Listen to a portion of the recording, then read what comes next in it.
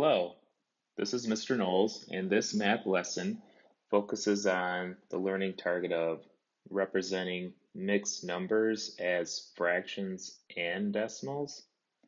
And we're going to be decomposing those numbers in both ways. So here's an example of 2 and 6 tenths, and I'd like students to get in the habit of using and to represent that, that fraction or that uh, difference between the whole number and the fraction. So we have a visual down below,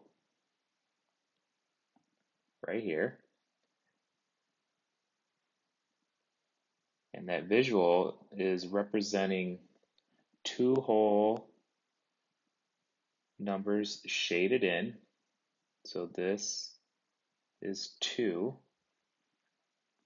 and then we have 6 tenths of a third one shaded in. So this one is 6 tenths. And up above, we have it in fraction form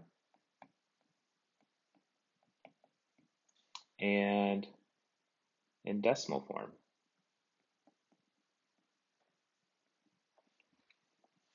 What I want you to notice is that right here, they have it as 2 and 6 tenths, and then down below, they decomposed it into 2 and 6 tenths. And you could even put a little plus sign there if you wanted to, because that's that represents that. In the decimal form, they have 2 and 6 tenths. Remember, remember when you're reading decimal numbers, the decimal, you use the word and when you say that, when you say the number and they also decomposed it into two, two ones and six tenths. So I just wanted you to make sure that you understand that. So let's look at some other ways that you might see a fraction or a decimal represented in your work in the future. Again, you might see visuals like this where they have a square and it's broken up into 10 equal parts. So each of these sections is a tenth. There's 10 strips that make up the one whole unit. So if I counted those, it'd be there would be 10 of them. Now at home, you probably can't draw that really well. So there's a couple options. You could just draw boxes like this at home and these represent whole numbers. And then when you wanted to show tenths, you could just draw strips. And then you could write that as 4 tenths. So this visual model that I drew could be represented as 3 and 4 tenths or you could write it as a decimal as 3 and 4 tenths. So again, you could have a number, let's say it's 2 and 7 tenths, and you had to draw a visual of it using this box method. That would be the two whole numbers. And if you needed to draw tenths, you could just draw strips. You'd need seven of them. Five, six, seven. And you'd have seven tenths. So together, it's two and seven tenths. That's the fraction form. That's or you could write it as the decimal form, two and seven tenths.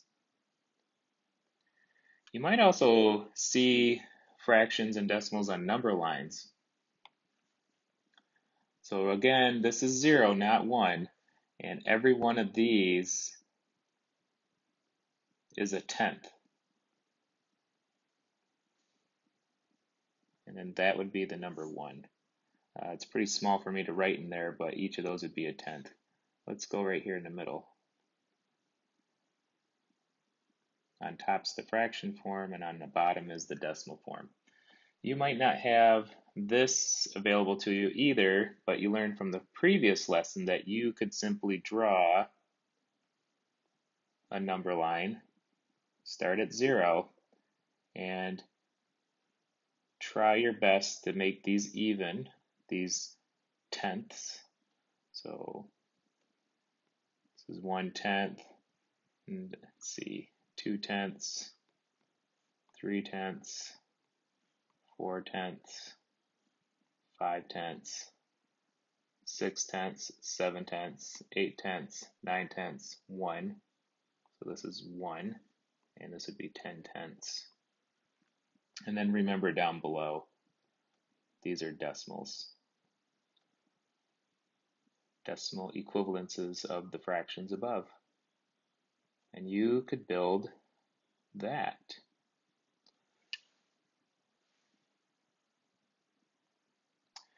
You might see problems like this. So let's look at the one on the left. You'll notice that this is 4. So we have 4. And let me count these carefully. One, two, three, four, five, six, seven, eight, nine, ten. Don't forget where that 5 is. That's 10 tenths. So up above, let me erase what I just added there. Up above,